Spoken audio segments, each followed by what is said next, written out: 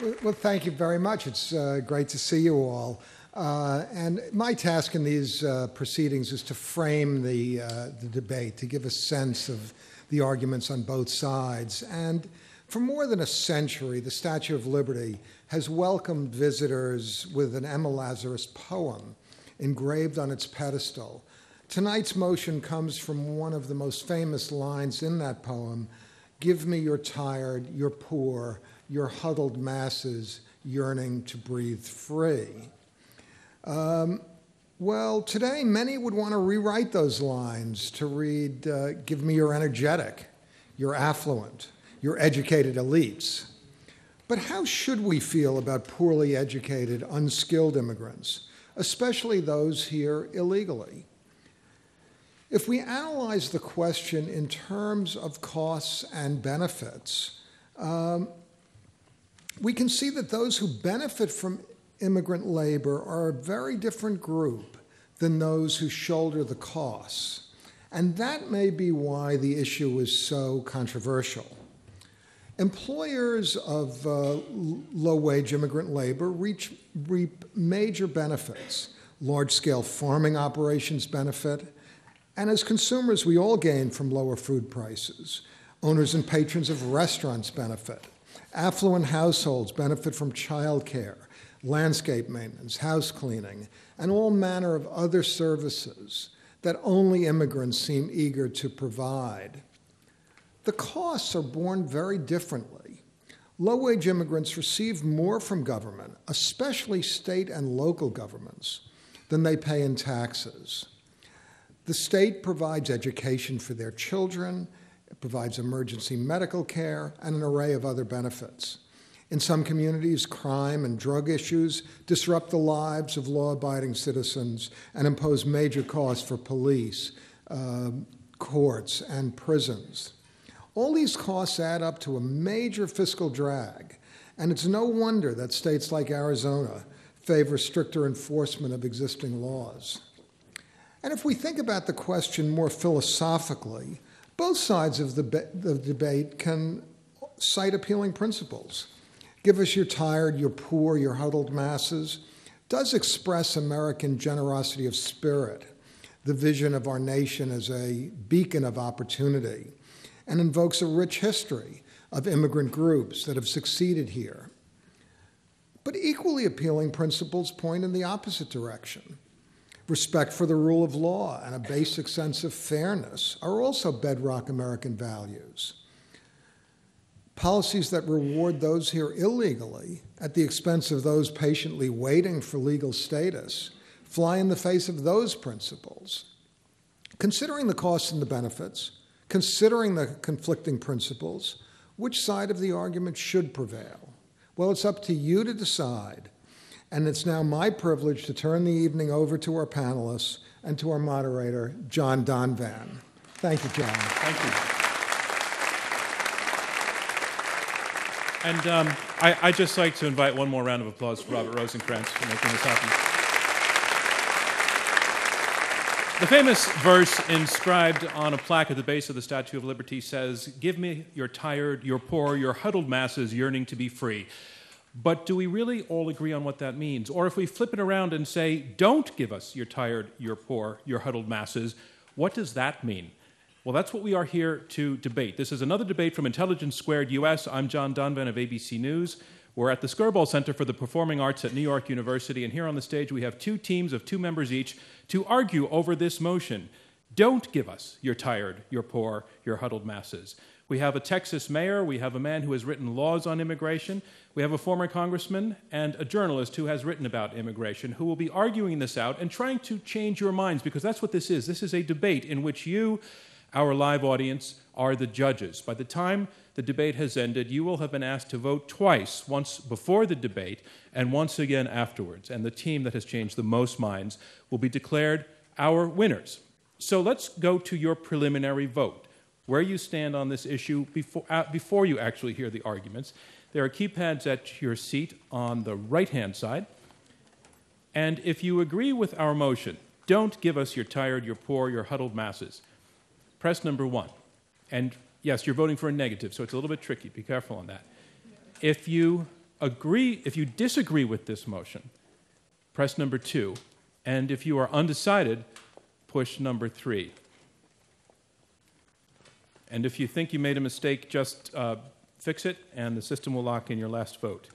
And we're going to share the results of that vote at the end, the vote that you just made, at the end of the debate, as we present both the before and the after votes to tell us who you chose as our winner. So, on to round one. Round one, we have opening statements by each debater in turn. They are seven minutes each.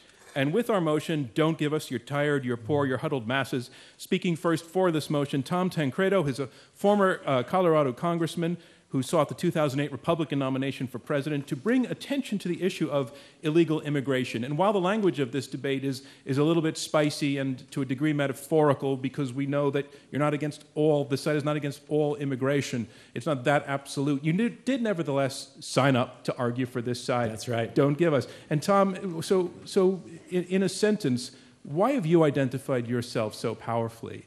With this battle on well, illegal immigration? I will be happy to answer that. Let me first tell you that I must say, in response to your discussion about the title of this debate, about the proposition itself, I was a little bit uptight about it originally because, after all, we are debating this issue here in New York City, a few miles from Ellis Island. And, and I have been, I have participated in things in the past that have been a little bit skewed. And I, I can recall a spoof of me, a debate, or actually, it was supposed to be a, a little uh, discussion between me and Vincente Fox, but it was a spoof on Saturday Night Live. And so they had uh, someone who looked like, and I knew it was biased from the beginning, from the very beginning, because, because the guy playing me looked like me. And the guy playing Vincente Fox was Antonio Banderas. no fair. Come on, guys. So, so to my question, in a sentence, why do Yeah. you identify so powerfully with this? frankly, I, you look at it and begin to think about the ramifications of, of immigration, both legal and illegal, and they are fascinating. It is really one of the most intellectually stimulating areas of public policy I think we can possibly Okay, talk about. we'll let you go. Ladies and gentlemen, Tom Tancredo.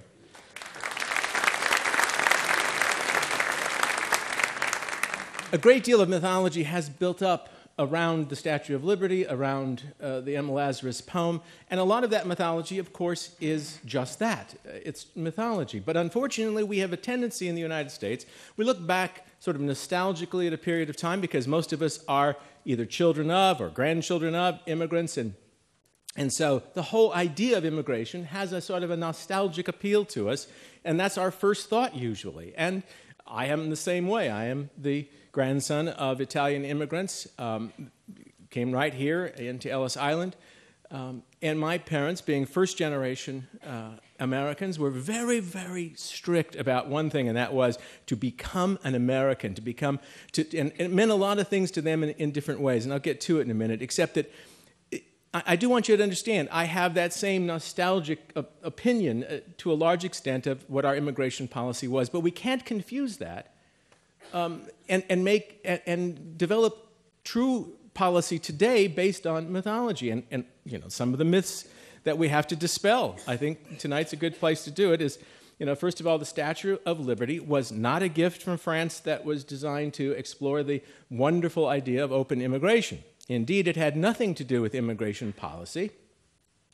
Um, it had everything to do with extolling the virtues of a republic. In fact, the statue was called Liberty Enlightening the World. It was not called Liberty Inviting the World. As for the Emma Lazarus poem, it was added 30 years after the statue got here, and it was about that time that the author of the poem, Ms. Lazarus, was talking about the need to limit immigration to various groups. Um, remember also that a lot of the tired and poor and huddled masses got stamped return to sender here at Ellis Island. There were people with dangerous elements uh, and, ailments uh, like pink eye or uh, a cough or fever. And if anyone exhibited any degree of, of exhaustion by climbing the very steep stairway over at Ellis Island, which was purposely built that way, that was one of the things that could get you sent home. It was not um, a take all comers uh, time in American uh, history. As for the poor, Well, long before the Ellis Island experience, the colonies had enacted very, very stringent regulations about this particular aspect of immigration policy. In New York, in 1691, it required an immigrant to have, quote, a visible estate or manual occupation or give a sufficient surety that he shall not be a burden or a charge to the respective place that he shall come to inhabit. In 1996, in the Congress of the United States, they tried to actually expand on this and say that you had to have an affidavit signed by someone if you're coming here. You had to have an affidavit of, of support. They put it in, it was part of the welfare reform bill. It's never, not one time, never has it been enforced. Um, and, and so the fact is, we are, in a, unfortunately, we are importing a large degree of our poverty into the United States.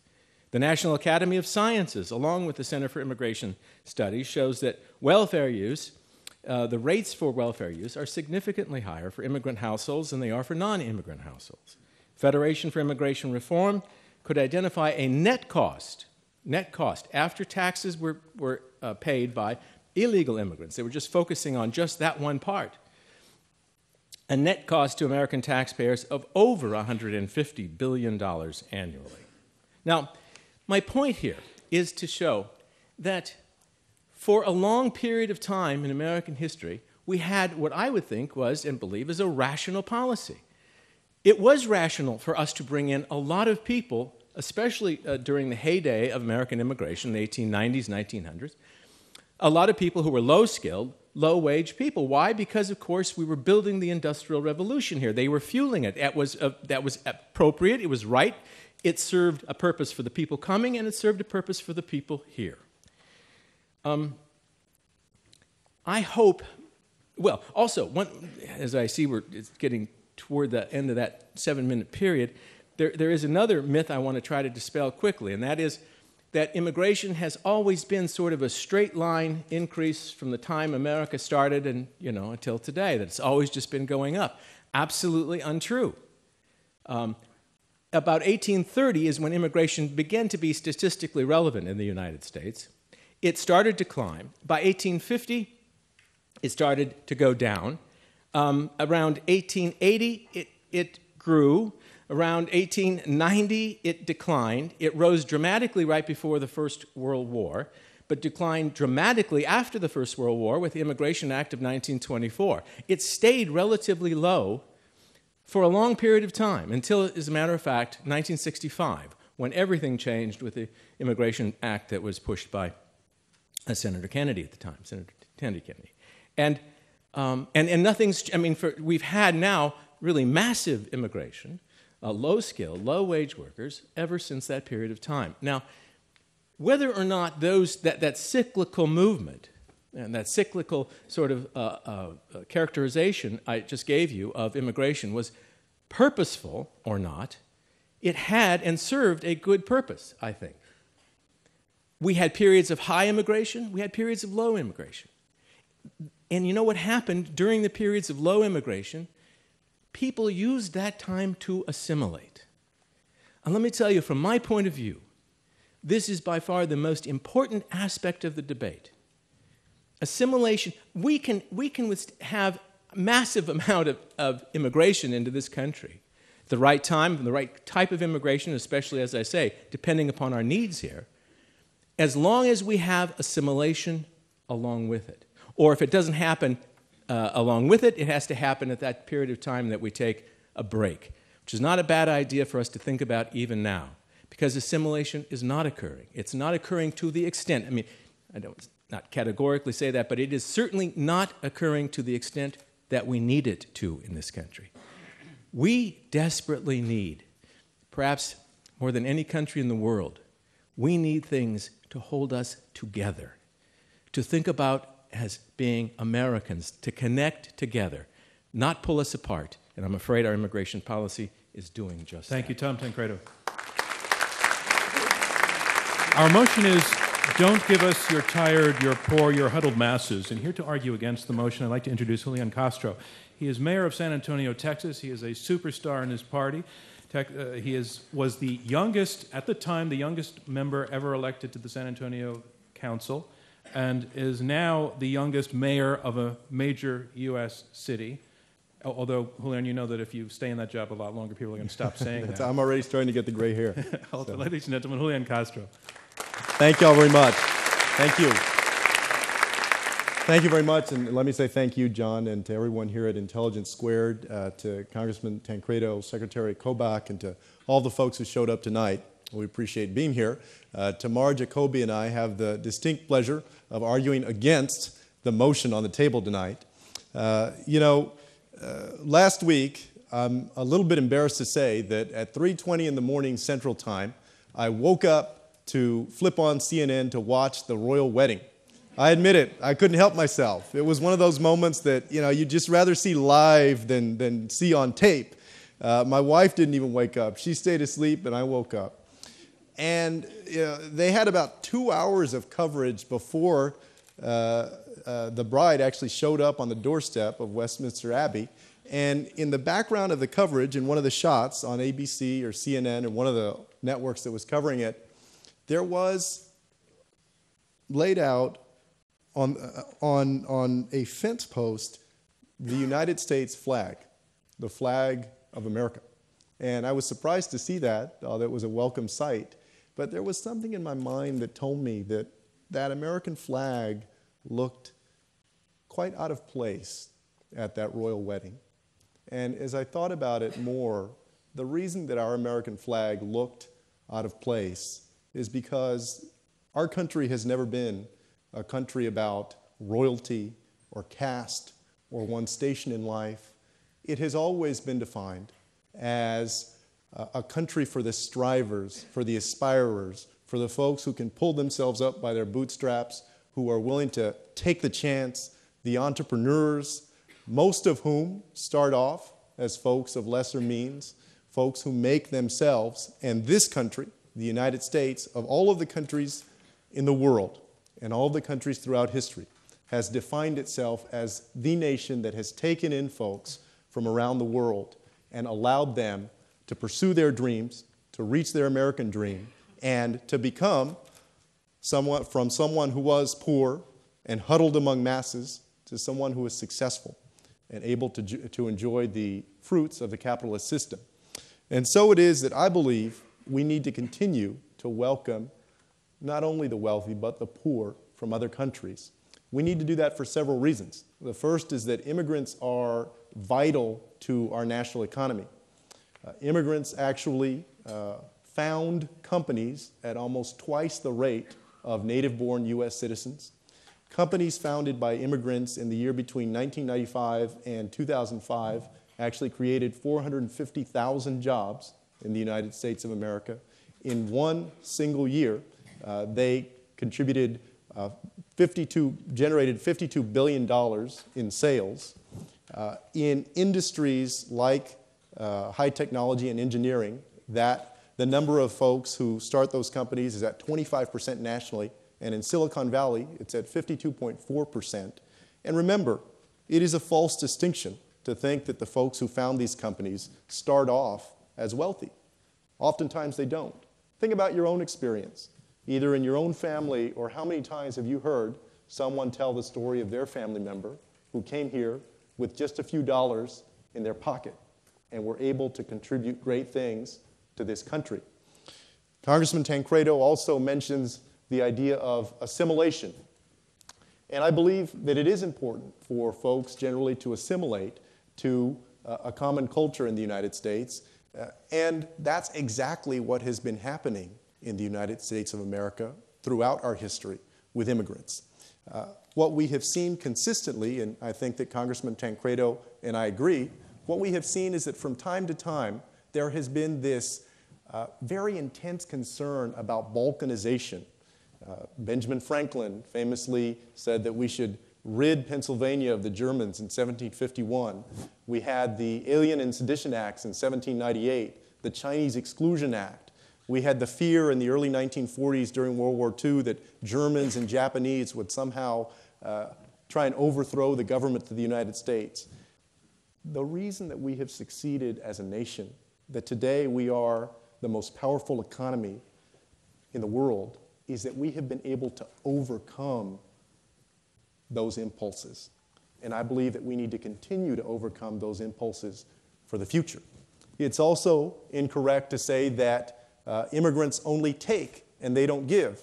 In 1993, the Urban Institute did a study that found that 94% of, of immigrants were not on welfare, and that the distinction between immigrants and natives in terms of who was on welfare was less than 3%. Uh, they also contribute up to $240 billion in taxes overall into Social Security and Medicare that they're actually never going to get a chance to use. And the National Conference of State Legislators, a few years ago, did an analysis of 16 different states, and they found that in five of those, including some of the biggest ones, New York and Texas, that there was a net positive from immigrants, including illegal immigrants, versus a net negative. And so, this idea that uh, they don't pay taxes, uh, that they only take, that they're on welfare, the evidence clearly demonstrates that that's not the case.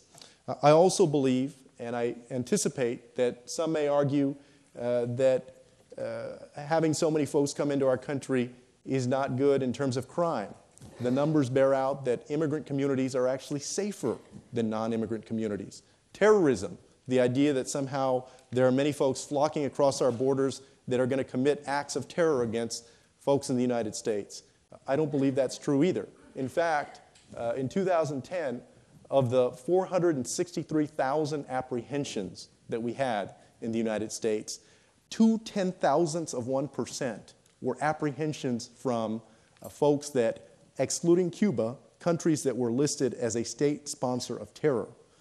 What we're catching, really, are a whole bunch of folks who are yearning to breathe free, who are chasing the same values. Congressman Tancredo asked, What's going to keep us together?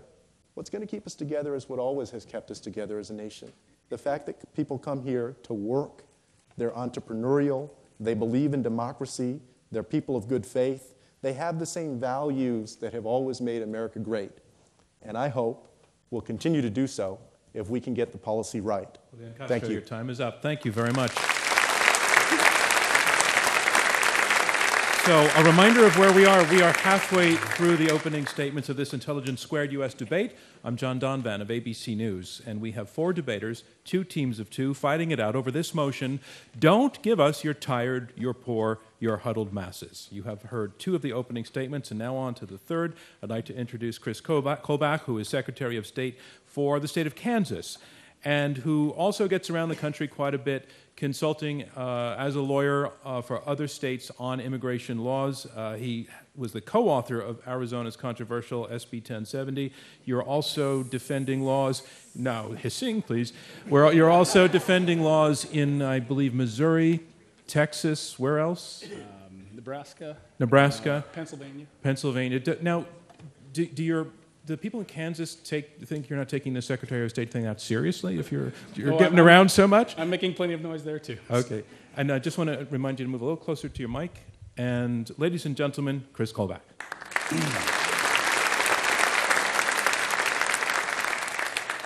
Thank you. My work uh, in, in, terms of immigration policy at the national level began in uh, 2001 when I served as counsel to John Ashcroft at the Justice Department. And after I left the Justice Department in 2003, I left with a very important idea in, in my head, and that was that the rule of law had broken down in immigration, and much had to be done to restore it. But it had to be done not only at the national level, but also at the state level. And that's why I got involved helping states like Arizona and many other states. And in 2007, for the first time, every state in the country saw legislation introduced into the state legislature to, uh, in some way, restrict or slow down the pace of immigration into that state. Not all of them passed, but that's an important point. Every state is a border state now. Now, the reason that nearly all of the states on the map are trying to take steps to discourage illegal immigration is severalfold, but the number one driver is a very important point in this debate, and I'd like to start there. The fiscal cost fiscal cost, the cost to governments, to taxpayers, to illegal immigration in particular, is unsustainable. My point can be summarized in one sentence by Nobel laureate Milton Friedman. He said, It's just obvious. You can't have open immigration and a welfare state. You can't have open immigration and a welfare state. Now, my guess is that there are a few fans of the welfare state here in the audience. Um, I am not a big fan myself, but I, am, I accept the reality that it's here to stay. And given that reality, there is an important distinction that needs to be made between the current wave of immigration, which started in the 80s and has been going unabated for three decades, and all preceding waves of immigration. They were not immigrating into a welfare state. They were immigrating into a situation where they rose or they fell based on their own merits. There was no safety net to catch them.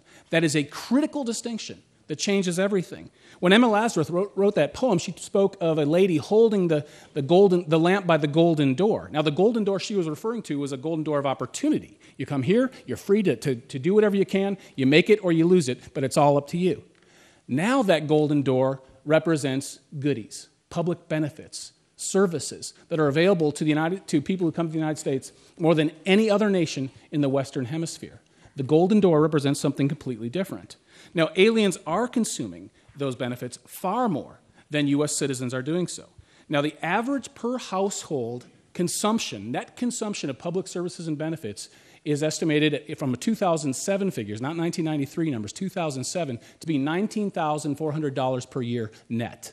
They're consuming, and this is all immigrants, the illegal and legal combined, 19,400 per year more in services than they're paying in in taxes. So that's a net drag uh, on the fiscal uh, status of the country. Now, Julian mentioned this 1993 study. Uh, I have not seen that study. That is so old. I wouldn't even you know, know where to begin because the numbers are so different back then. Now we're talking 11.3 million uh, illegal aliens in the country. There was also a study that came out last month based on census figures from 2010 and the number was generated by the uh, Center for Immigration Studies, crunching the numbers.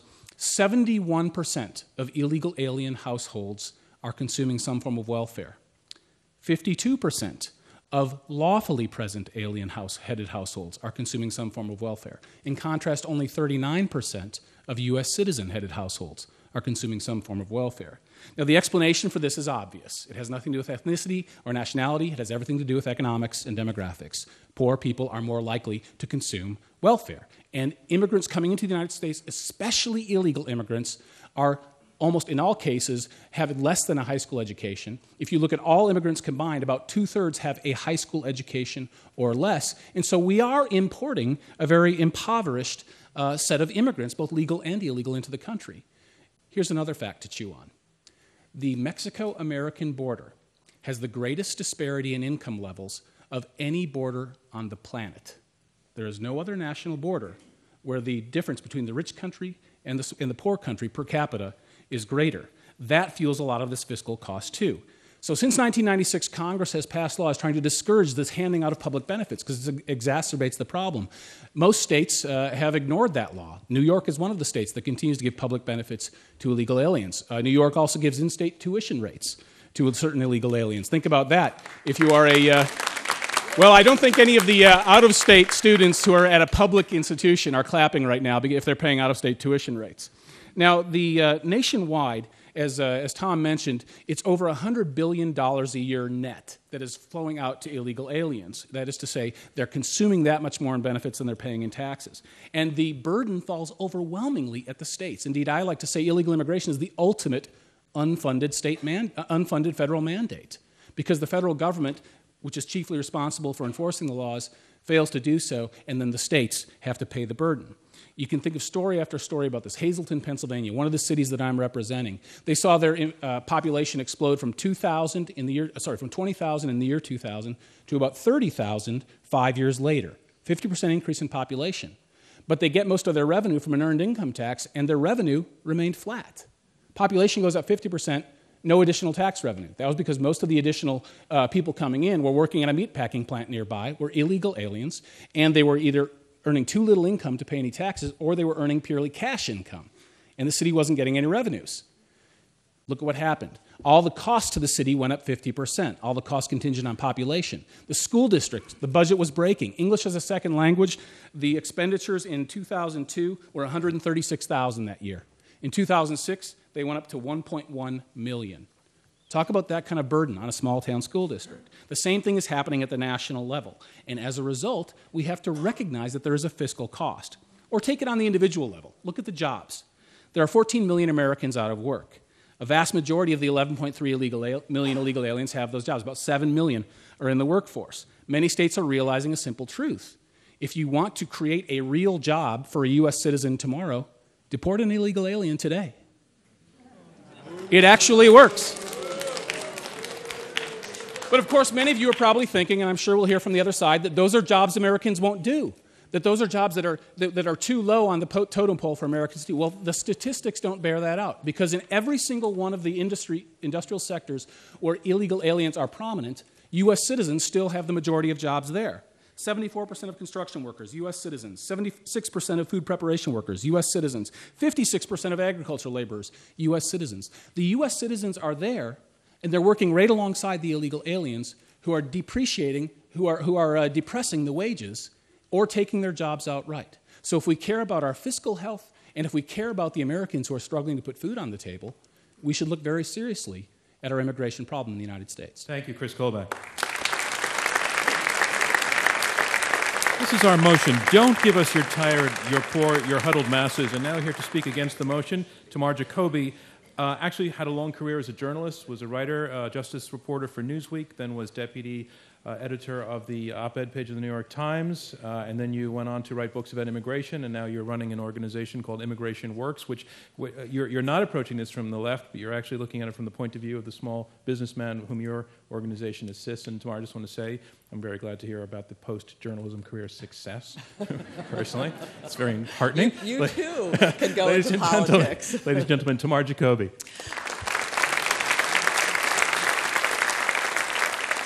Thank you so much, and thank you so much to the sponsors of this event.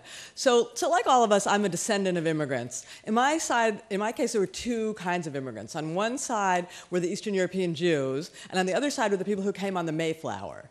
So I grew up in a house where um, I kind of had two lessons. One was the difference was really kind of what made us great. It's certainly what made the two sides of my family great, and I learned to understand later it was what made the country great. But I also learned that in many ways, what we have in common. This was another lesson in my household. What we have in common is more important than our differences.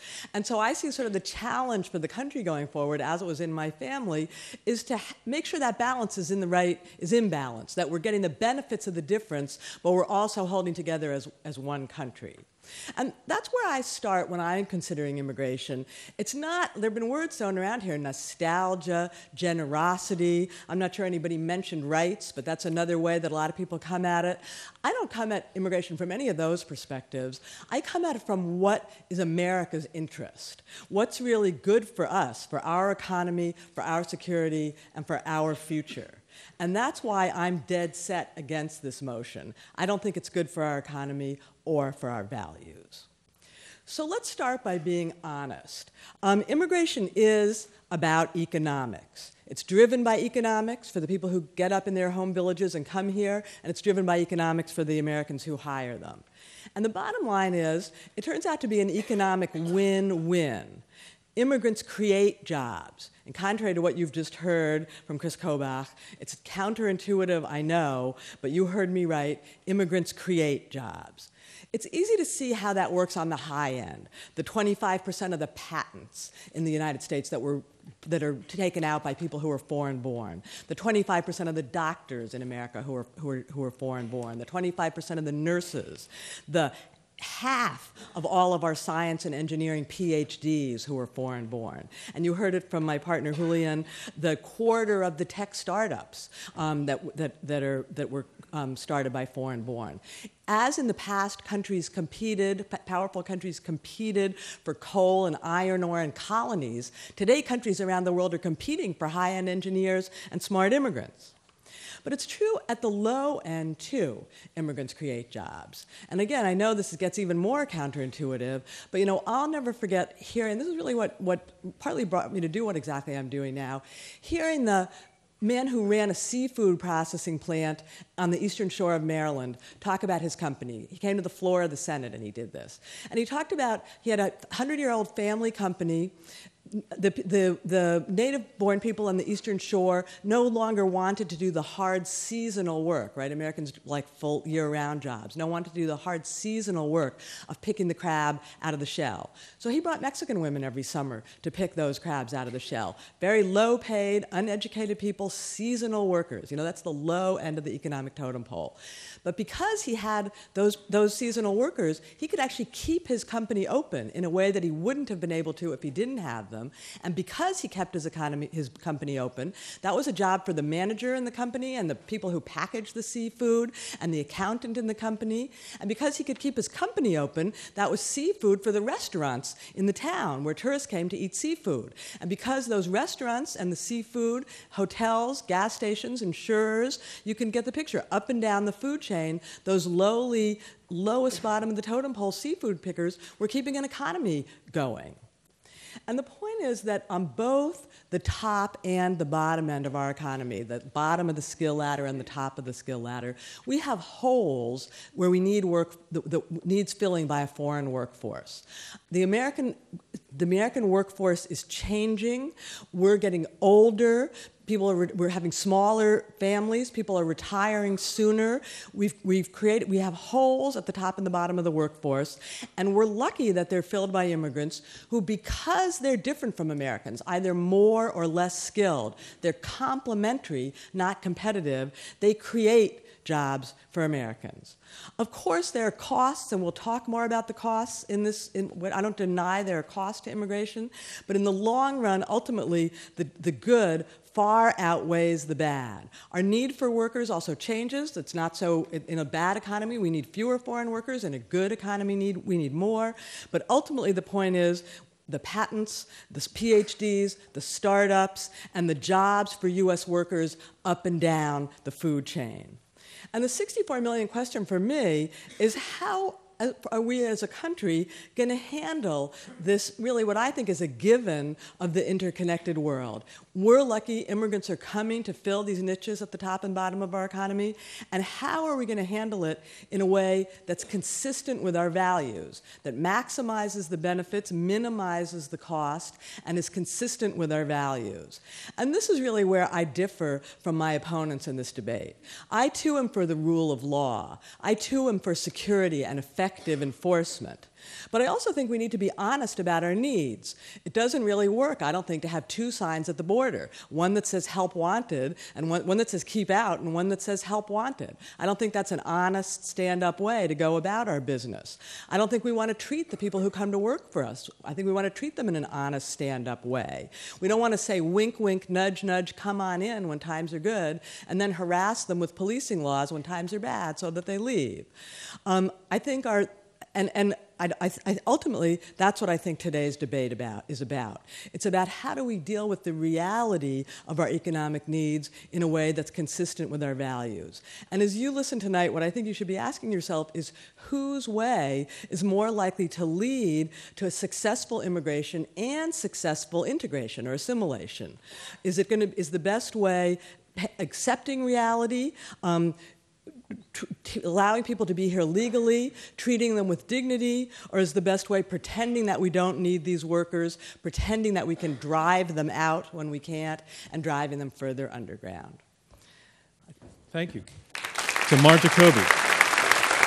And that concludes round one, opening statements in this Intelligence Squared debate. So here's where we are. We are past uh, opening statements, and we're about to go into round two, and that's where the debaters address each other one on one.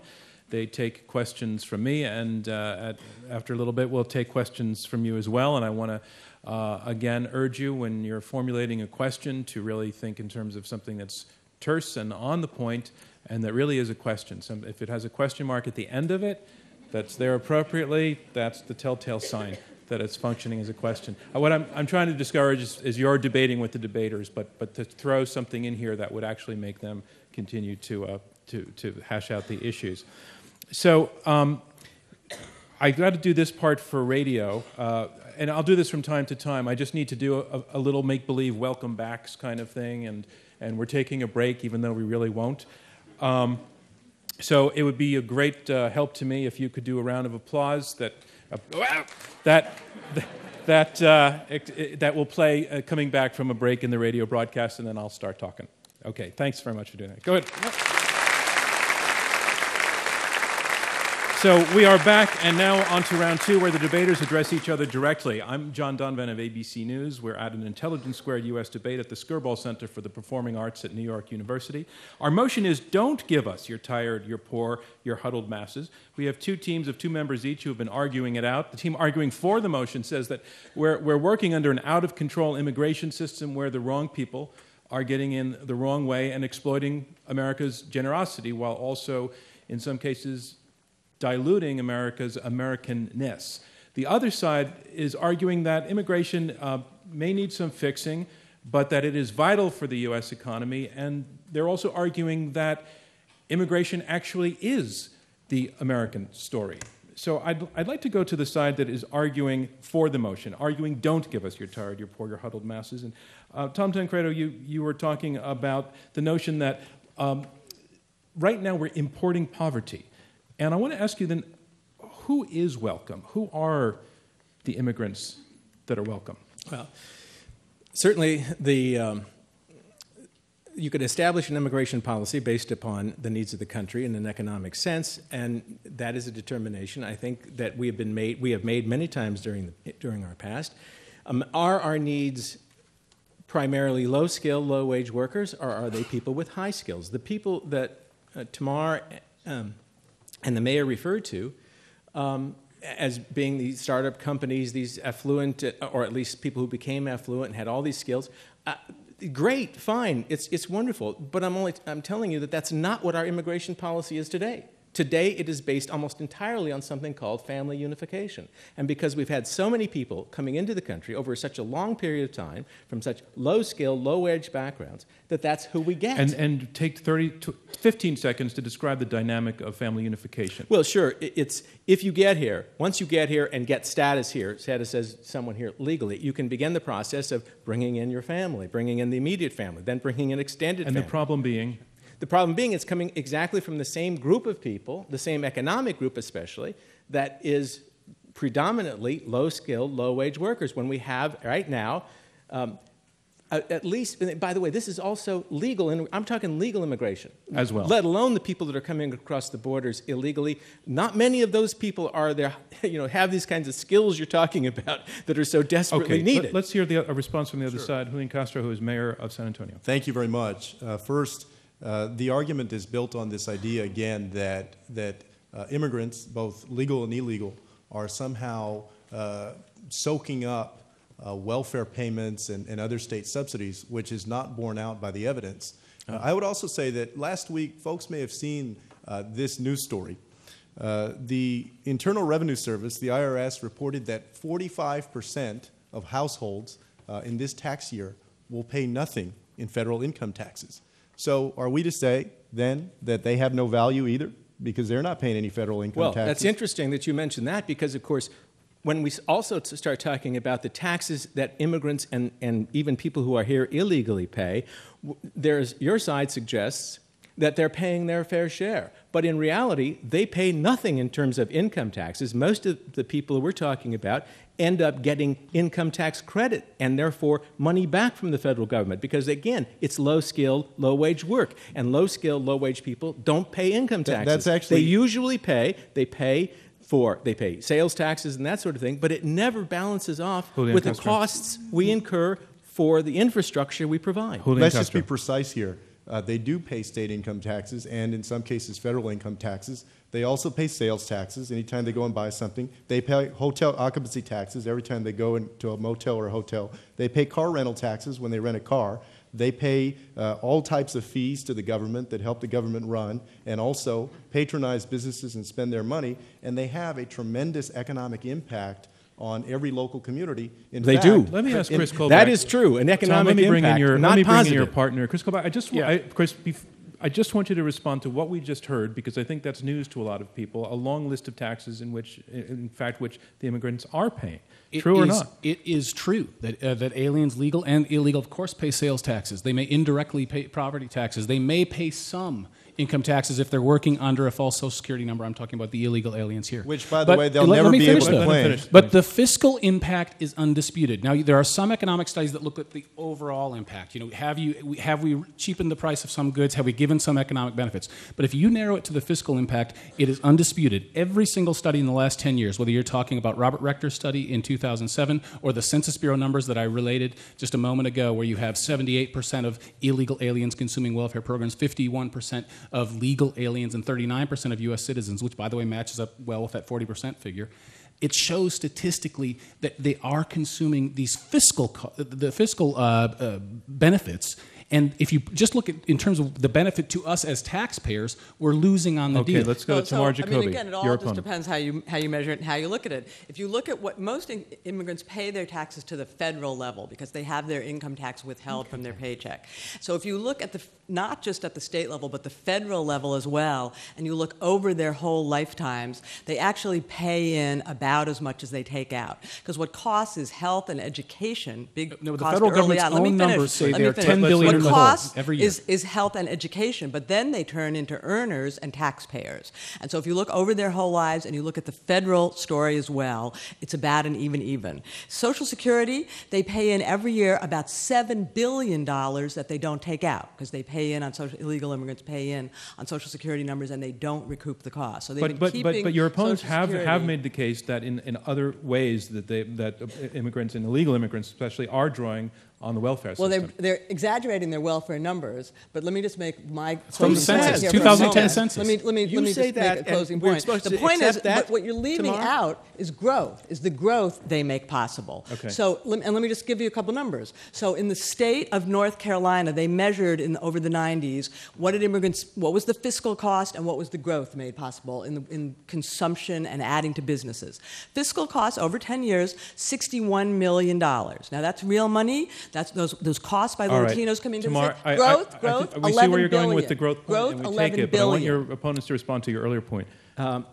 that right wing organization, the National Academy of Sciences, I mean, will you accept that as a legitimate uh, um, pr- uh, entity that assesses these issues?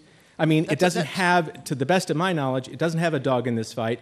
It, it doesn't have a political, you know, uh, a bone to pick with anybody. It's the National Academy of Sciences. You can argue with this with CIS and other studies, but the National Academy of Sciences shows that you're not correct, Tamar, when you suggest that this isn't a, a fiscal drain on this country. It most certainly is. That's not what that it is study a, it is found. a, it is a, and it's also just common sense. It's not even something that you have to go through, you know, reams of statistical evidence to prove. It is common sense. If you come here without a without a, uh, an ability to provide a service that is well paid for, you are not going to be able to pay the income taxes you're talking about, but you are undeniably going to require the services, the services for your children, the children who are in the public school system, the services And, for I- the, and I the- the consider social educating services, the social workforce of the service benefits. future. I consider educating the workforce for the future not as a welfare benefit, but an investment. Yeah, in the Tamar, well, see- and if they stay, Tamar, cede some time to your colleague, Julian Castro. an investment. Well, Tom, okay, Tom, how about the Tom, investment I want to our bring in prison Julian? Castro.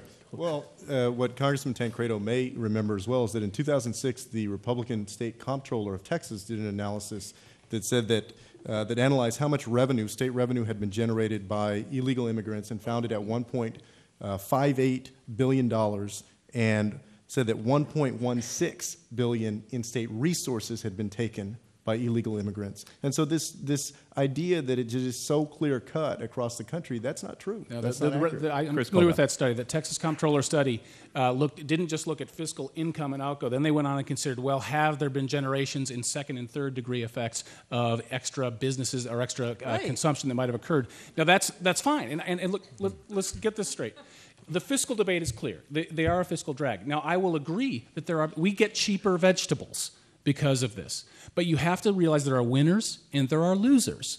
The winners are the employers who are able to exploit the illegal labor. The losers are the consumer. The winners are the consumers of some goods who really want that extra two pennies off the price of a head of lettuce. But the losers are the U.S. citizens who lose their jobs, the U.S. citizens who are still working in those fields and are pay, getting paid a lower wage, and the taxpayers. There's Well, no doubt none- the taxpayers of- are the losers. None of this is true. That no economist, no economist looking for a wage effect, um, who's been people studying it for 20 years. George even the mo- Borjas, yeah, has found that over 20 years there's a less than 5% wage effect for the people at the very for high school So you concede dropouts. there is a wage effect. And other economists challenge him and say it's less than 1%. And other economists who studied it say this. So the division is between over 20 years for the only the, the 10% of Americans who drop out of high school, that for them, there's, there's, it's between 1 and 4. And, oth- and for everyone else, it's actually gains can I in see if we agree on this everyone point? Else, it's gains in wages because the, having low skilled people there makes the productivity of the so higher do we agree on, workers do we agree on the go. Borjas numbers? He says that if you have a 10% increase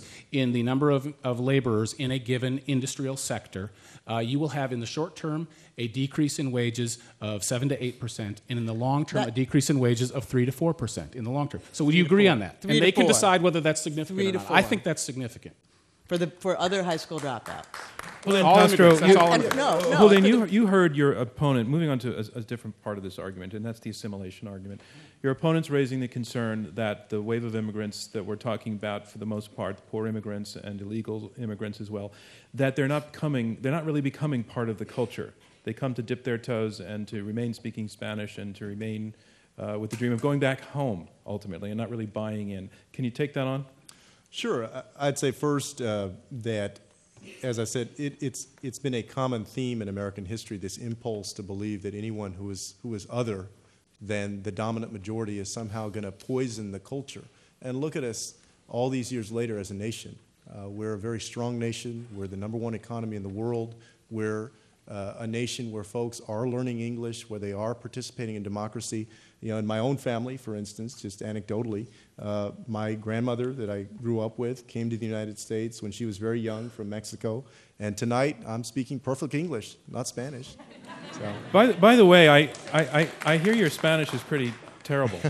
my, I, my, my English is about 100 times better than my Spanish. And, Mine and really, the idea is not that, you know, the idea is that you see a, a common trajectory, no matter whether it's the Germans that Benjamin Franklin was talking about, the Chinese that we tried to exclude, uh, you know, the French that we, were, we passed the Alien and Sedition Acts for, or today, the Hispanic cultures. Right, but I, I think, that, I think your America. opponents are arguing that in s- several ways this time it's different, and I, I want to go back to Tom Tancredo on this issue of assimilation. It's and why is it different? It would, time? it would be exactly the same, quite frankly, if the, the, the numbers were uh, close.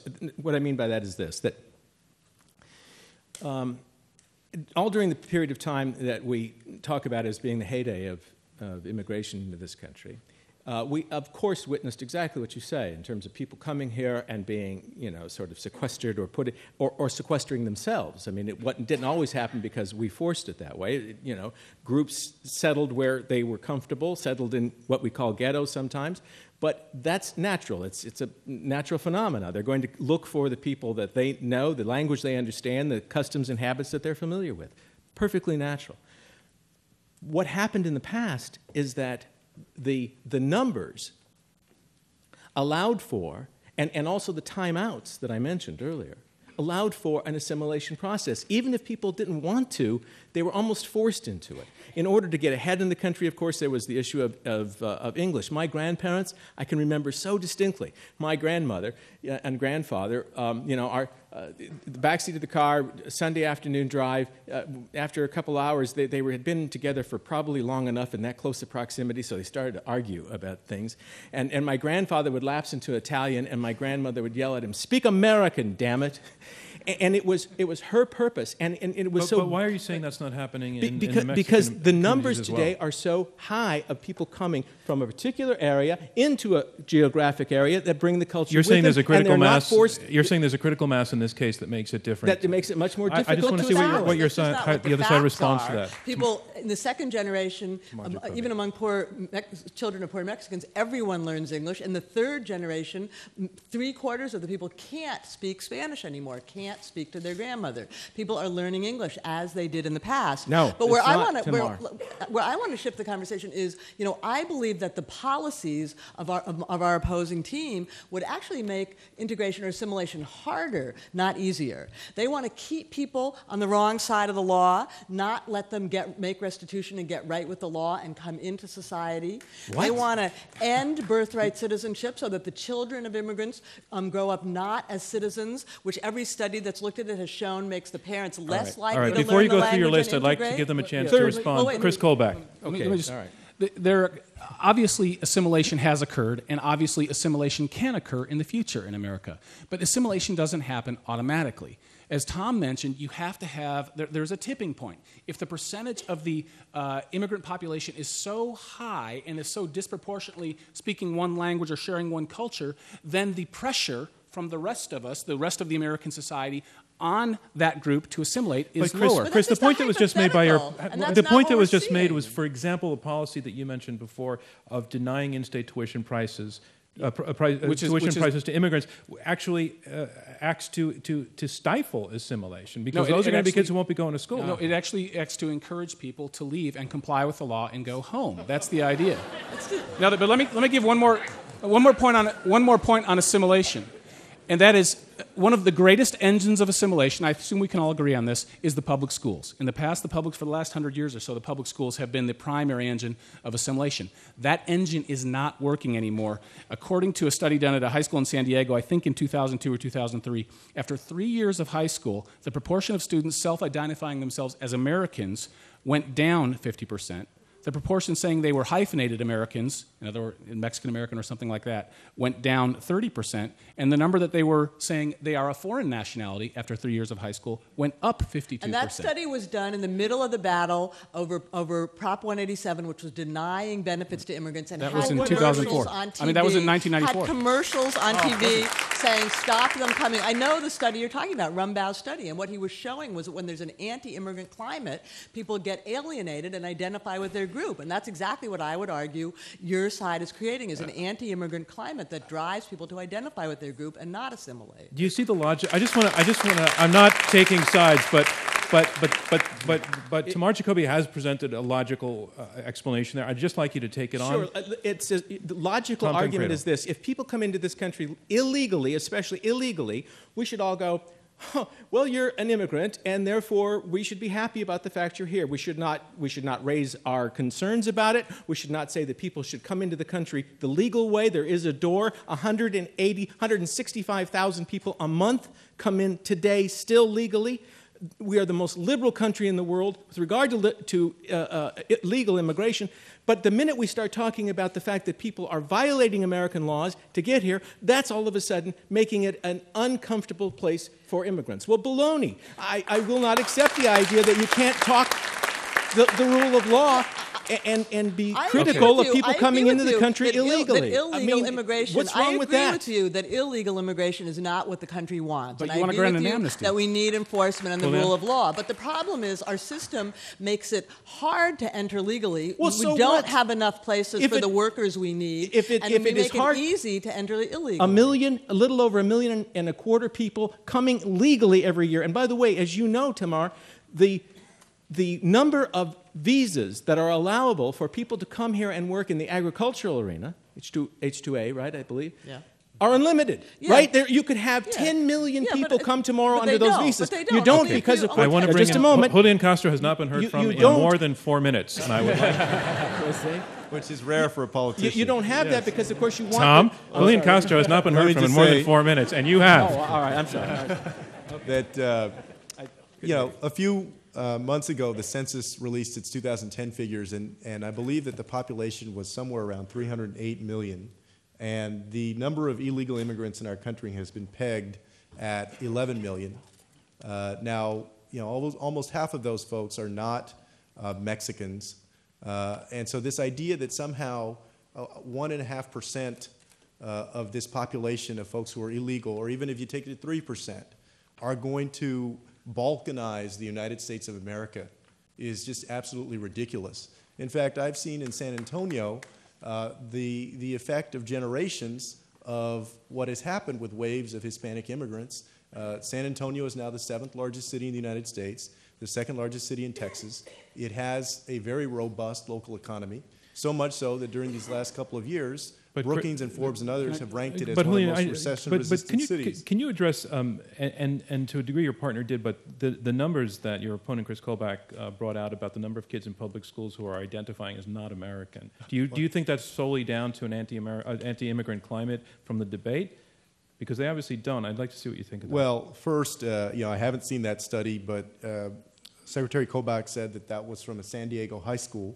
The first thing is I would question the sample uh, and, and the breadth of that study. I don't think that you can draw much many conclusions from one high school in the United States, uh, one class. But I would say, uh, I mean, think about your own lives and the folks that you've met here in New York or wherever you've gone. Uh, folks are very proud to be Americans. They came here for a reason. They came here to get ahead. They came here because of what America stands for.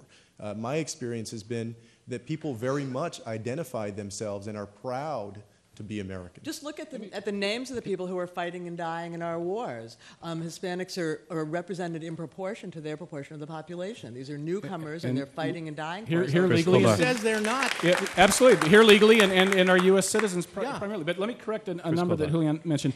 Uh, the uh, Census Bureau number, the actual number, you're right, 308 million total people residing in America. Approximately 36 million uh, are aliens, and that includes legal and illegal. So it's about 12 percent Well, uh, here of the you go. population. And here that you is go, a significant. I mean, you're significant switching num- between legal and illegal and making some Well, I- arguments the- only the- for yeah, okay, here, look, and 11.1 arguments for legal. 11.3 Well, you of can't the have it both ways. That's the point. is illegal. I, you do the math. Yeah, My that, point that is, is a good question. Are you guys against just illegal immigration, or are you against immigration, period? I'm telling you. I, You ha- uh, what we are in favor of is increasing the percentage of aliens who are exactly the ones you're talking about the job creators, the entrepreneurs that are starting the companies. The way you increase that percentage is you reduce illegal immigration to zero. And you change our priorities about legal immigration, and you give higher preference to people who are skilled. and- and we can who- accept the cream of the crop, Who, and we who's, should. And who's going to grow our food? And who's going to take care of our old people? And who's going to work in Uh, hospitals? well, the, the 14 million unemployed Americans would be a starter. and, um, and Okay, I'd like to go to questions uh, from the audience. And uh, w- the way that this works, the lights will come up. And uh, if you raise your hand, I'll find you. And then a microphone will be brought to you. We'd like you to stand up um, so the camera can find you. Uh, really, if you could keep your question to one sentence or two sentences. I mean, try to formulate it. I, I'm okay with a brief statement of premise, but we would like to keep it terse. And um, hold the mic about a fist distance uh, from your mouth. And this gentleman in uh, the front row in a blue shirt. Um, hi. Yeah, actually, the mayor of New York City, Michael Bloomberg, he's been talking a lot about um, an immigration policy that would allow a lot more individuals to come in from all different classes, but that would be focused on, you know, having these immigrants come in a little bit more quickly, a little bit easier. But they would agree to stay in cities that are necessarily in decline, like Detroit, for a period of two to three years or five years. I'm just curious, does that change any positions on either side, and could that be a viable plan that could maybe bring So he's saying together? there is a place. Kris Kobach, do you want to? Uh, Yeah. Seems Um, like everyone wins. mayor, Yeah. mayor of Detroit had already responded to that, I think. yeah, yeah, Mayor Bloomberg. You notice he didn't suggest that the that the uh, illegal aliens come to uh, any particular borough of New York, and and the uh, citizens of Detroit weren't asked whether you know they're facing unemployment, whether they would like a large number uh, of unskilled uh, folks to come in and help. Uh, revive their economy by taking the jobs that they're already Yeah, in. you know, I Julian mean, Castro. people- okay, Tamar People Jacoby can make Julian. light of this, but I mean, it's true. Like, go to any immigrant neighborhood, they revitalize the neighborhoods. They open shops, they open restaurants. They've taken burnt out neighborhoods across the country and revitalized them. Um, the same way they create small businesses and their and their and their consumers. It's yes, I mean, I don't know if we really want to send them all to Detroit, but um, but the truth is, immigrants bring economic vitality and they create jobs. Julian He's onto Castro, something. your partner. Yeah, uh, first, as I said earlier, the studies have shown that, that immigrants as a class uh, have a higher rate of founding businesses than native born U.S. folks. Mayor Bloomberg is correct, uh, and, and that's why he has made the economic argument very powerfully for uh, both more legal immigration and then doing something with the 11 million folks who are here uh, illegally. It is not realistic that you're going to deport 11 million people uh, because it would decimate the American economy, and because, and this isn't about dollars and cents, but because these people are human beings. They're human Tom beings. Tom Tancredo, do you want to weigh in? Yeah. Um, uh, uh, what our opponents have done here is very skillfully, really great at it, and, and I give them credit for setting up all kinds of straw man arguments. You know, um, that if you are opposed to immigration, uh, you, you don't understand that some people who are coming here are, are patriots and want to be in. Well, of course, that's absolutely true. Nobody's suggesting that every single immigrant comes here under that premise. But the idea that you, um, when you say you can't deport, I don't have any I have never once, in, in, as many millions of words as I've expended on this topic, suggested everybody's got to be deported. All I've ever said is look, all you have to do is obey the law. All you have to do is restrict the ability of, a, of, a, of a, an employer to give a job to somebody who is here illegally. People self deport when that happens. It happened in Arizona. You do not have to round people up. These are all canards. These are all things that people on the other side say to make it look as though we're all people who are just waiting and, and, and biding our time until we can get these people out of Your- our your- country. your That's policy is stuff- even- that is even ab- worse than absolutely untrue. Why is it hard the- to the suggest theory that obeying the law would be a good way to deal with Marcia Kovac. immigration theory- the- problems? The, the, I theory mean, what's the behind deal? This policy, the theory behind the policy that, that Tom Tancredo and Kris Kobach are advocates for is called attrition through enforcement. It's let's make immigrants' lives so miserable that they go home of their own accord. First of all, it doesn't work. Many of the immigrants it who are here, doesn't. the unauthorized immigrants, are people who've been here for five years, 10 years, 20 years, who own homes, who own businesses, who are married to legal Americans and have citizen children. You might get a few to go home, but most are not going to go home. And honestly, I don't think that's how we want to deal with this population. These are people who we said, nudge, nudge, wink, wink, come on in, do some work for Don't us. say we. And now we're saying, let's make their lives so miserable that Does we'll it work, drive Kris them Kobach? Yes, home. look, I don't think statistically- that's the way to deal with it. Statistically, attrition through enforcement works, and it's basically the idea. It's the same law enforcement approach you have. If you have a, a section of Highway 95 where there are no police officers patrolling, you don't say, "Well, the only options are to have an amnesty, i.e., have no speed limit, or to catch 100% of the speeders." No, you, uh, which would mean to deport But Kris, everybody. I, I don't want our eyes to glaze over with the Okay, answer. But uh, when okay, you say when you say Sorry statistically, can you give us yes. a sense of what you mean? Um, we have the numbers. Arizona, more than any other state, has tried to encourage people to leave, give disincentives, take away public benefits. From middle of 2008 to middle of 2009, the overall illegal alien population in the United States dropped 7%. Arizona. In Arizona, it dropped 18%, more than double the national average. But and the only difference home, but was most the of didn't enforcement. Go home. They went to other neighboring Oh, states. oh, right. Me- Mexico Well, then why did the. Mexican, why did the That Mexican state of disprove their Sonora? point No, that but you want to get out of Arizona. That's true, but it, but it does make the point that they're Um, home. Is, Mexico why is did- not why did home President- Wait, wait, wait, to many a- of these people anymore? Mexico, they've been out of Mexico for 10 or 15 or more years. They're married to Americans. They have ci- citizen children. Mexico's not home I'm anymore. getting in my they ear to leave get and go more to questions. Oklahoma. And uh, uh, there's a woman in the fourth row, and thank you. Good evening, everyone. Um, I, I just want to start out quoting another Nobel laureate. Um, it was Elie Wiesel who said in the 80s um, to undocumented immigrants gave the slogan, no human being is illegal. Um, and I think that's a really brilliant place from which to start because sometimes we see that our laws have inhumane consequences. But my question is for Chris Kobach. Um, how do you explain working for a designated hate group, the Federation for American Immigration Reform, founded by white nationalist John Tanton, who was recently profiled in the New York Times? How do you explain the hate I'm- speech? I- you, you two can talk afterwards. It's not on our. and I'm, I'm not dis- disrespecting the question or its validity or the conversation you two can have afterwards, but it's not on our topic. I, I would like to answer one of her points, though. Uh, the, the, the, the designation, by the way, is by the Southern Poverty Law Center, which designates lots of people, lots of things. Um, but the bit about no human being being, in, being illegal. The reason I use the term illegal alien or alien unlawfully present in the United States is those are the terms used by federal law. And being a lawyer, I try to use the terms used by law. The word undocumented immigrant does not appear anywhere in the entire United States Code. Okay. The, the term undocumented worker does not We, appear. we, we take the point. Um, I thought I saw a hand, uh, sir, with the yellow tie, goldish. Eh? I'm not that good on the colors. Thank you. I noticed that Mr. Kobach is a professor of constitutional law, and yet he's advocating that states have their own immigration policy. Do you not understand the Constitution you're trying to teach? Hmm. I understand that perfectly well.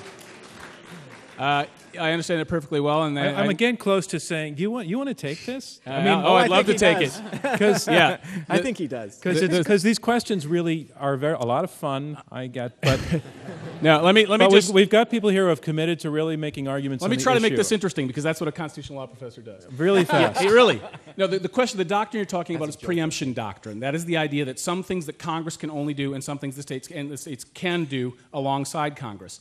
The United States Supreme Court last opined on this in 1976 about a California immigration law and said yes, the states can do things to discourage illegal immigration. There is a case uh, before the United States Supreme Court right now, Whiting versus Chamber of Commerce. We should have a decision within the next month or so. This will be the first time the Supreme Court has spoken in 35 years. So the precedents are very clearly there, and that's why many of these cases, the states and cities are winning. Okay. Can I ask, uh, just in phrasing the questions to uh, to uh, to uh, ref, uh, restrain the tendency to want to uh, attack the you know, ad hominem, please? Because because it's because it.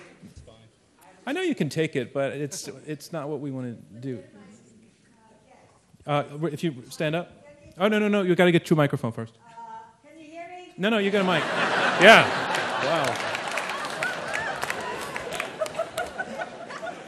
You Even even the radio listeners could hear you on that been tossing around this statistic about 11 million immigrants, illegal immigrants, uh, in this country, and then you toss something in about it dropped, you know, so many percentages. What illegal immigrant is telling you that he's illeg- illegal? Mm. And where are these statistics coming from? It's, it's really interesting. The, the census has what's called a current population survey, and they do they do these every month, and they do a really big one in March, and they actually give them to everybody, and illegal aliens answer these surveys, and so they're based on sur- very large surveys done by the Census Bureau, and those numbers, the 11.3 million, those are generally agreed upon numbers by both the Pew Center and by the Center for Immigration Studies. So I, I think there's broad agreement. Jacoby? No, I'm just going to say the same thing. Same thing. You agree on something. Okay. Something technical. We agree on something It's very technical. Uh, you have a white collar and I believe gray shirt. Oh, it's a white collared gray shirt. Um, thank you. Uh, earlier, um, the mayor made a point that if you look into the future and you treat not just a snapshot of the economy, but actually a dynamic picture of the economy, you see immigrants not just as one person, but as a pyramid of people who can contribute to the economy over many generations. Why do you folks on the pro side of this question always look at the snapshot and never at the long-term picture? Interesting because question. Because I think Yeah. if, if many of the people in this room, if our immigrant descendants had come here now, you would send them home. But in fact, over the many generations, we've contributed to this economy. Tom Tancredo. Uh, at- I think I, I at least attempted to address that when I spoke earlier, when I talked about these periods of time out.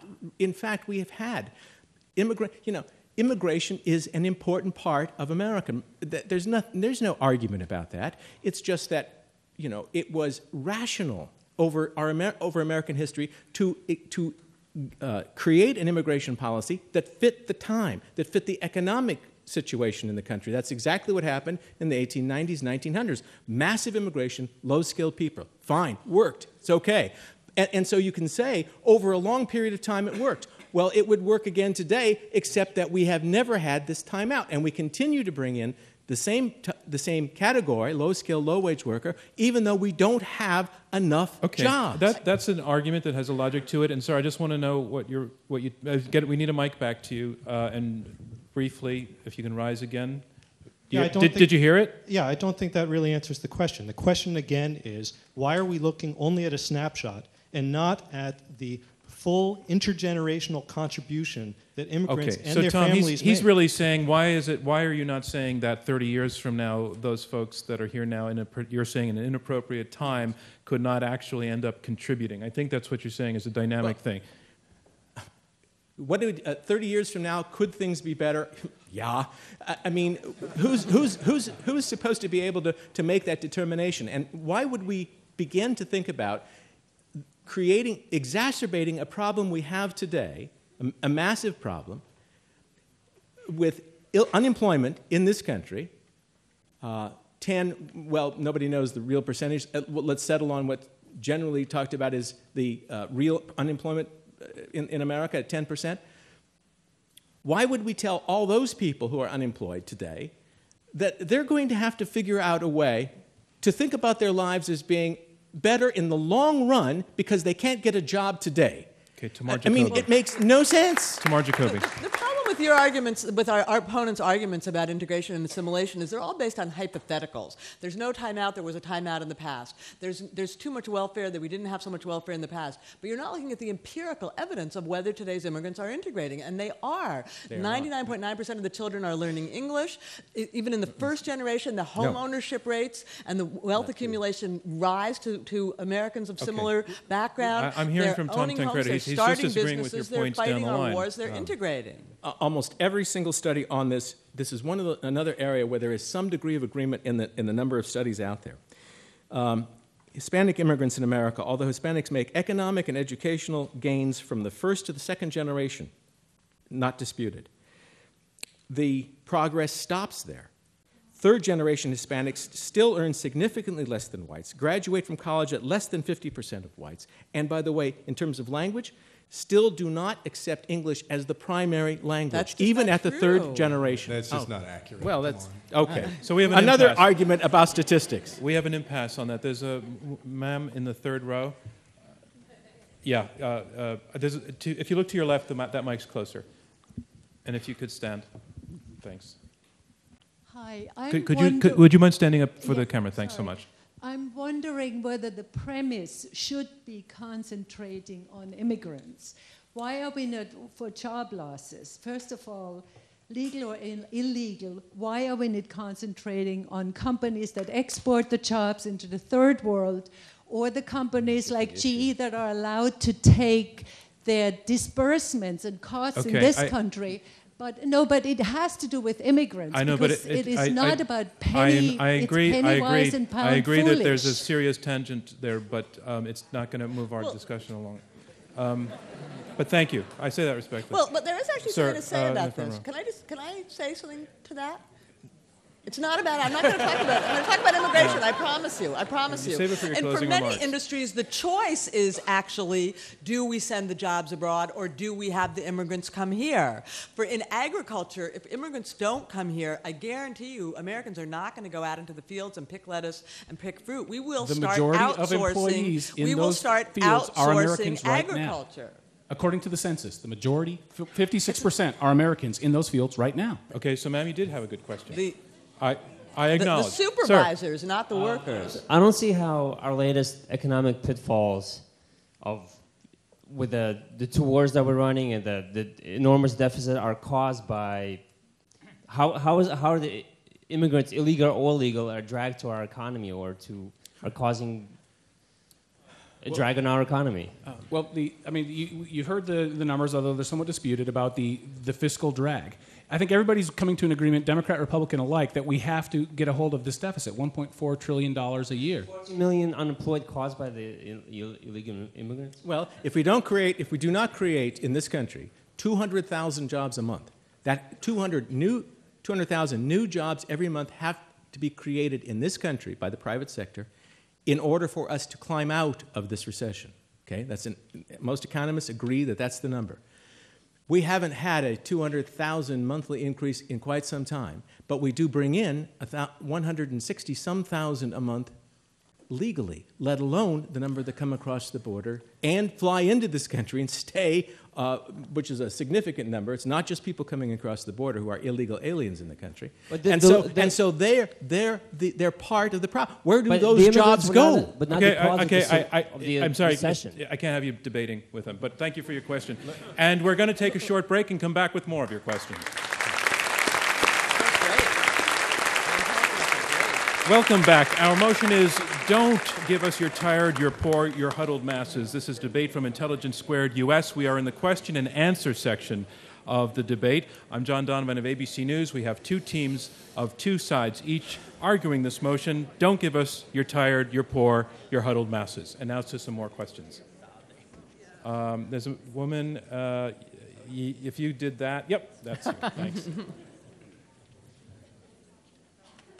The pro side has talked about potential changes to our existing immigration policy, and I wonder if the against side would also talk about what changes you would make, because I think most people would agree that what we have now doesn't work tremendously well. So the key and the most important change is that we give the workers who we're going to need in the future a way to come legally.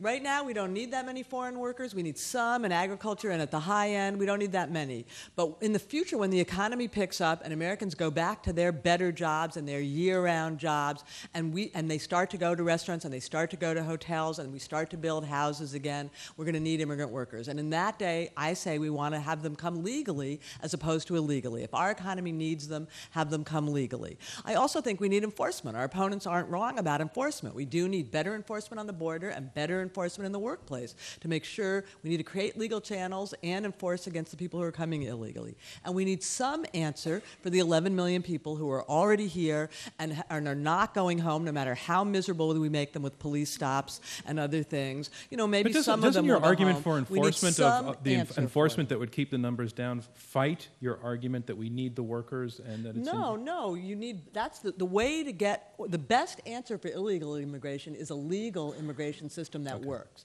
If people are coming to work here, give them a legal way to come, and then stop the I ones would who are just, coming I would illegally. also just add really very quickly that, that this idea that everybody agrees that they broke the law, but there are a million different ways that people break the law every single day of the year. And for instance, i- i- if you break the law and you're speeding, you mentioned speeding earlier, or you're breaking the law because you don't have insurance and you're driving, or you're breaking the law because for some other reason, one of the models that's out there is something called deferred adjudication.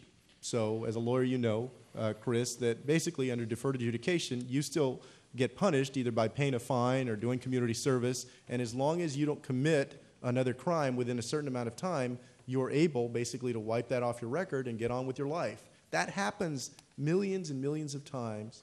I would imagine just about every state in the United States. And Something so like it's not an like amnesty. the model is not there already. There- Kris- an It is. Chris is a horrible idea for four quick idea, for four reasons. Number one, you're going to see that the fiscal impact is going to triple.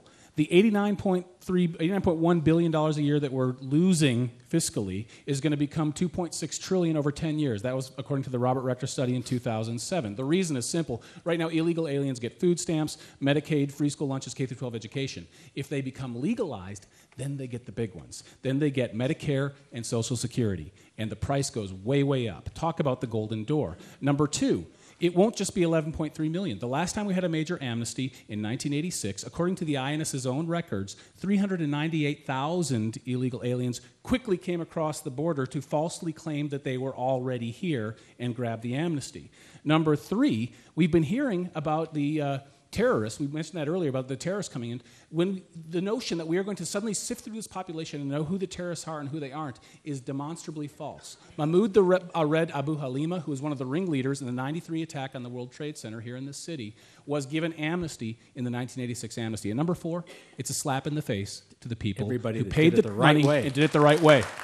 No, no one's talking about amnesty. We're talking about asking people to make restitution and get right with the law. Nobody's talking about amnesty. Yeah, a slap on the wrist and then you get to stay. That's called amnesty. No, I would say, Kris, that, that, that that's an open question. In other words, how much are you going to punish, just bluntly, how can you punish them for having broken the law? I think that there is room to maneuver among reasonable people there. No Front, punishment. uh, third row, uh, beige sweater. Uh, you wait for the mic, okay?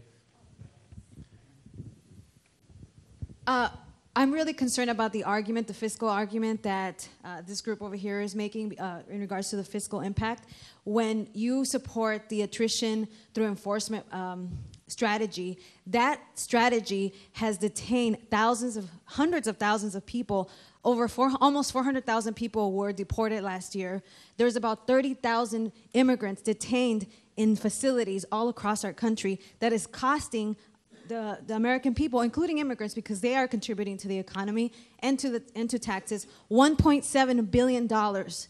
There's So, 30,000. so you're, you're saying there's a cost to enforce There's a cost, and and that's Okay. just the detention Let's- cost. let's- let's- so that has and and that is also, uh, you know, in terms of our values of being here in the United States, what does that speak to to the people who, who you know, are here uh, that we, you know, do we want to be viewed as a country that is detaining 30,000 people in detention and Okay. deporting almost 400,000 people? I don't think that's Kris- that's the values that the United States is really portraying across the country. Kris Kobach. As a lawyer who's worked in this area, you're right. It's about 30,000 who are detained. Those are people in deportation proceedings. We call them removal proceedings. But that's a small percentage of the total number of people who are being removed from the country in, in any given time. And the reason that 30,000 is actually too low is that if you do not detain an alien while he is in removal proceedings, and then the judge says at the end of the, uh, the immigration removal pre- hearing, you are deported, hands him a removal letter, 93% will abscond. They will leave. They will disobey the letter. And it's known among the immigration attorneys as a run letter. And so if you don't detain, they don't go. And if we believe that our courts have any meaning and are, are nothing, uh, nothing more than just a laughing stock, we have got to try to detain the ones that present the highest uh, uh, risk of leaving. But the, but the point is the whole system is broken. Of, de- of people in detention. A lot of these people in detention don't even have an attorney, don't have any due process, and that needs to be Every- addressed. and do okay. we want Every immigration hearing has a right to an be attorney. Kris, I, I, I don't want you debating the audience, but your passion has been registered and, res- and respected. Uh, sir, right there, right on the same aisle, uh, to your left, if the mic could go back down. Gentleman in the purple tie. Oh, it's coming the other way. And if you could stand up, sir. Thanks. The uh, con side has both been saying there's not enough legal immigration, but as been briefly mentioned, we do accept uh, 1 million permanent legal immigrants each year and about and nearly a million uh, temporary workers, and that number has not gone down since the recession. So That's Ms. not true. Jacoby says that you support, we don't need it now, so would you support a moratorium until the um, jobs go back up? And also, how many people, 15 million people, apply for the diversity lottery alone? So how many do you want in the country So, legally so each the year? point is that the market works really well to attract people. When times are good, the market attracts people, and when times are bad, people get the signal all the way to their villages in Mexico and they don't come. Since the downturn, half as many people have been coming every year from Mexico. Half. People hear that there are no jobs, and so they don't come. They're not coming for welfare. They're not coming for unemployment. They don't get those things. They're coming to work, and that, that's we should be we should be, be happy about that. that That's attrition by bad economy, though. Exactly. We Yeah. should be happy and- that the market sends the signals, and the Tancredo. system that I think we should have is is a, a way for when the market is good and attracting people, those people who are coming to work should be able to come legally. I don't Tom- think we Tom want people Tancredo. working here and being. Uh, Tamar apparently agrees that jobs are the attraction. Without the jobs, they don't come. Without the jobs, they go back. Therefore, it's an enforcement issue, something that's called, um, right now, it's a, program that's voluntary, it should be mandatory. It's called E Verify.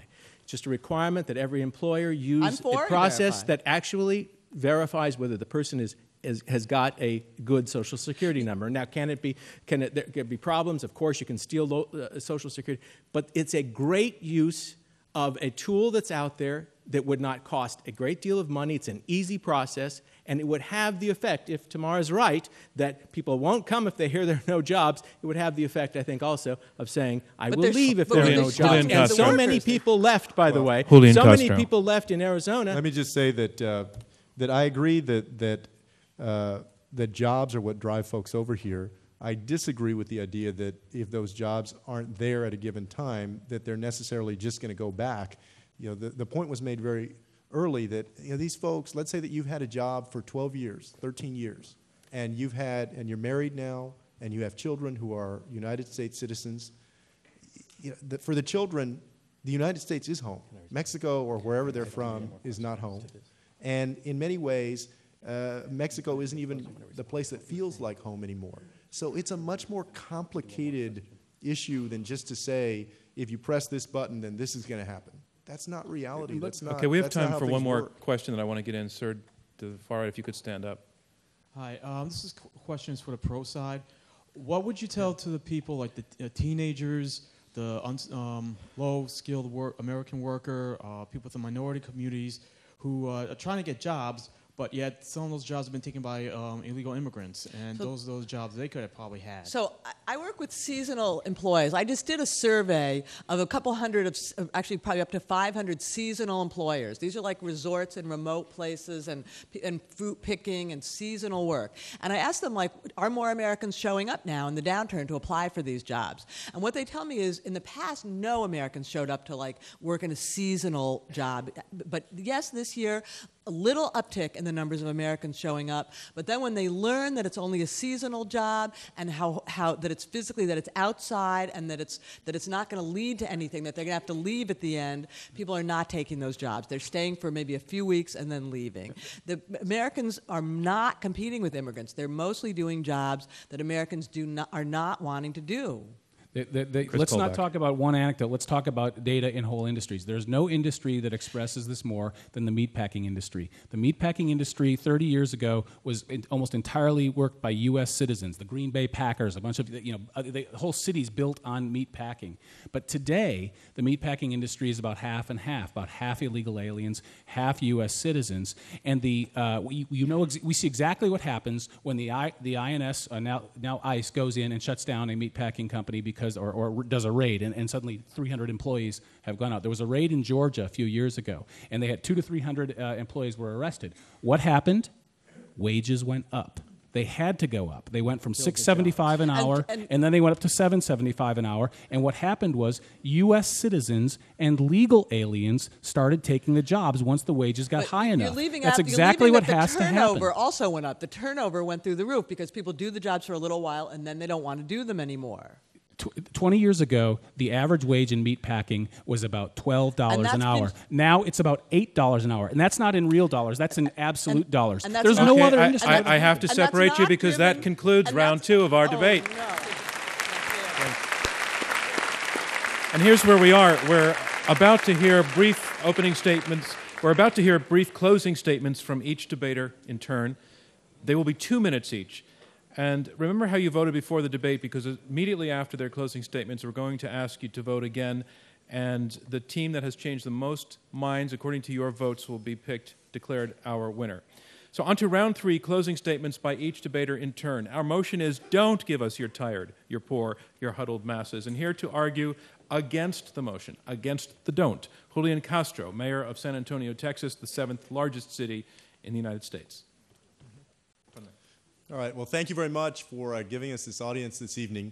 Uh, you heard arguments on both sides uh, tonight, uh, but I want you to think about, uh, at the end of the day, uh, what the United States of America stands for, what it stood for from its founding, and what it stands for in this year, 2011.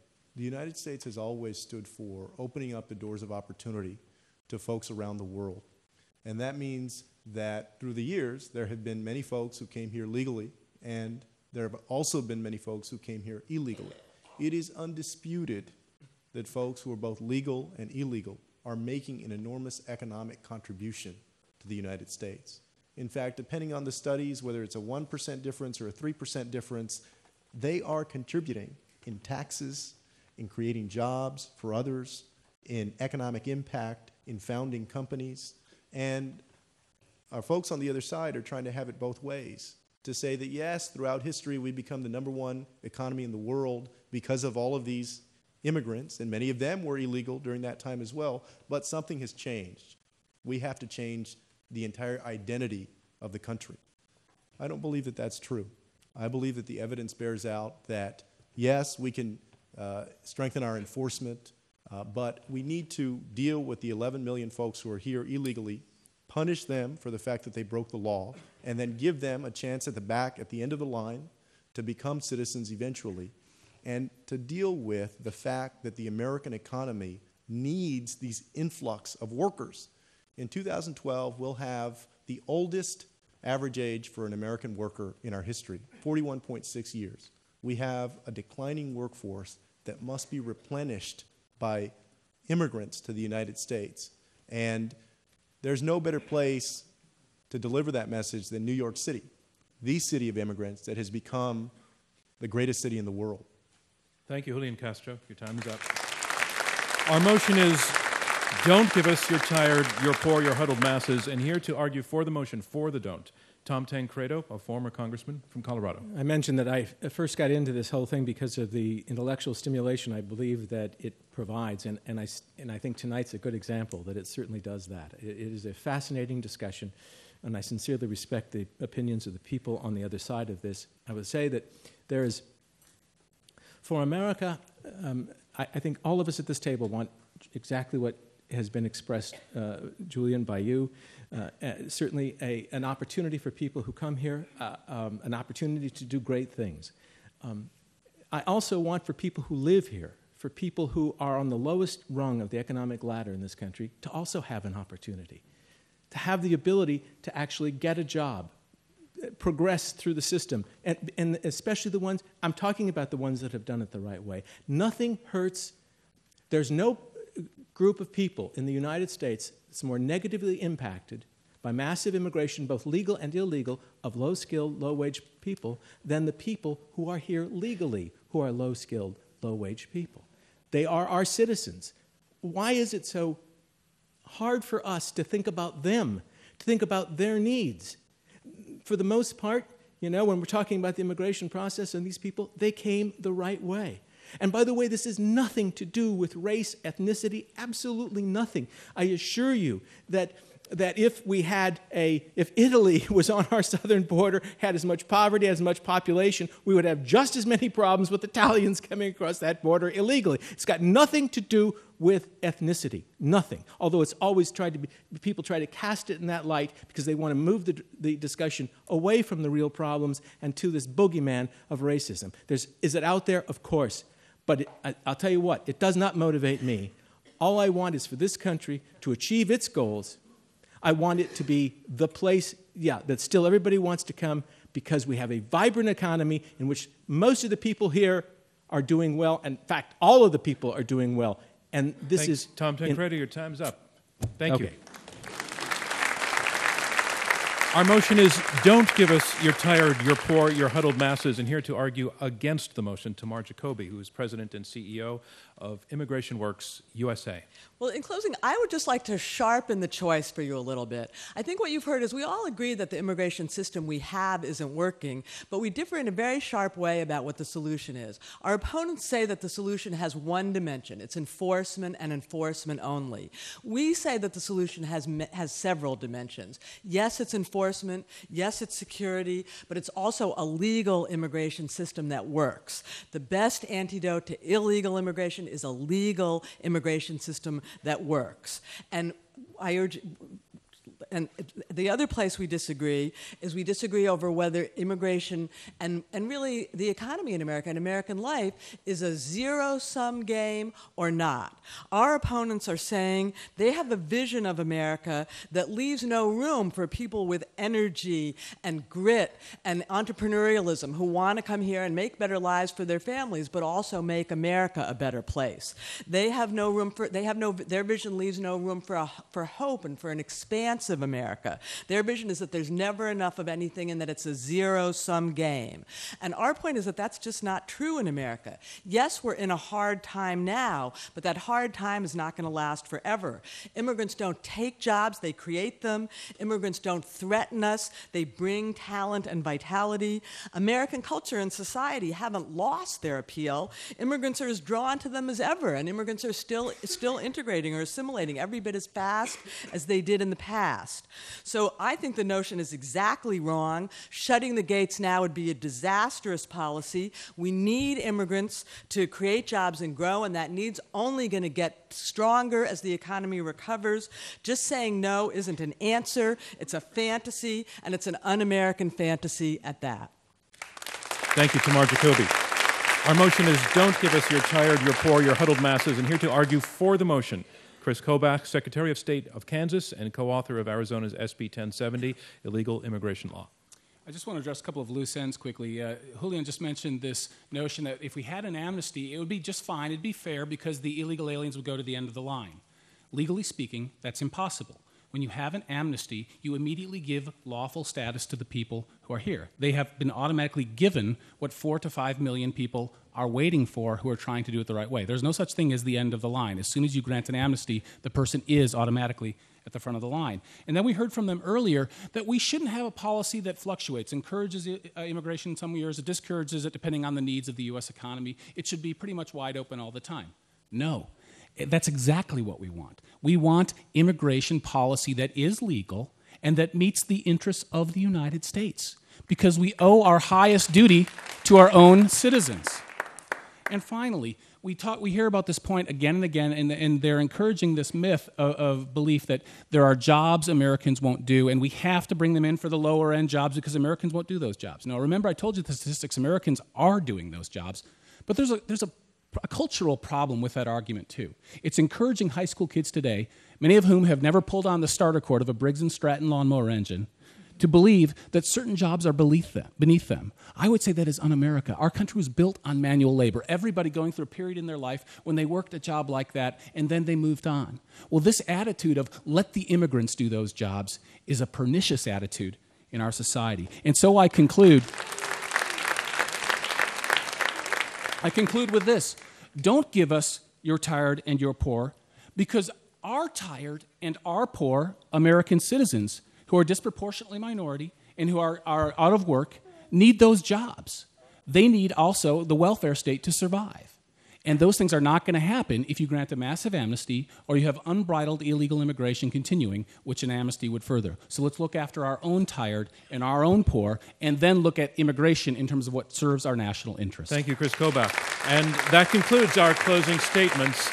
And now it's time to learn which side you feel argued best. We're asking you to go again to the keypads to the right of your seat and to register your vote. We'll get the readout almost immediately. So, our motion is don't give us, you're tired, you're poor, you're huddled masses. And if you agree with this motion, if you agree with don't give us, push number one.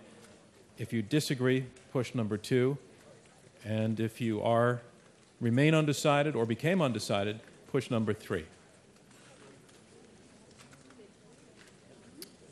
And did a lock in. So, so we're, we're, we're, we're done with the excitement uh, of the evening, and I just want to say that in an issue that was as contentious as this, I so respected how these two teams actually respected the argument and respected each other's arguments enough to hear them, and I want to congratulate them all.